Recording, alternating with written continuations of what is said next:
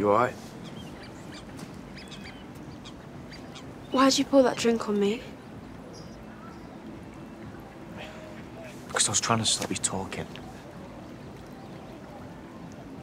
I don't understand. When people want me to stop talking, they just say, enough now, Brooke, or nobody needs to hear about colonic irrigation again, Brooke. We're trying to eat.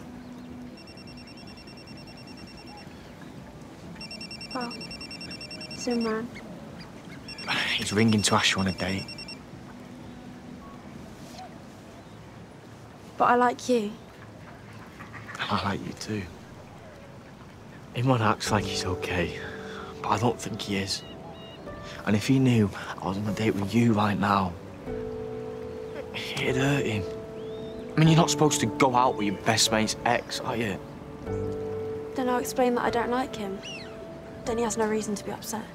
Well, that's not the ego boost his new life plan needs right now, is it?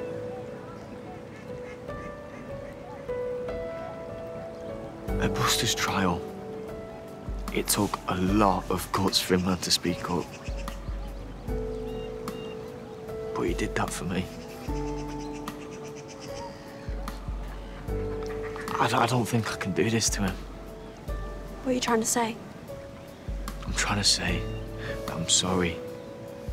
I think we should just stay mates.